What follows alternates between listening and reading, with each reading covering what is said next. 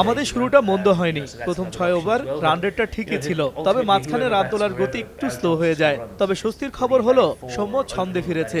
Over বাকি থাকলে হয়তো ম্যাচের চিত্র পাল্টে যেতে পারত। um, you know, we need to lose the fear of getting out. বিপিএলে বাকি যে কটা ম্যাচ আছে ওগুলাতে জানি আমি আরও ভালো পারফর্ম করতে পারি। আর প্রত্যেকটা ম্যাচ বাই ম্যাচ আমি সব সময় চিন্তা করি সামনের ম্যাচ যাতে আরও ভালো পারফর্ম করতে পারি, সেই চেষ্টা করব। লাস্ট বিপিএলও অনেক ছোট ছোট ইনিংস খেলছি, বিশ, তিরিশ বিশ, তিরিশ করে আউট হয়ে গেছি। তো এই জিনিসটা যাতে এখান থেকে আরও বড় রান করতে পারি, সেই চেষ্টাটা করতেছি।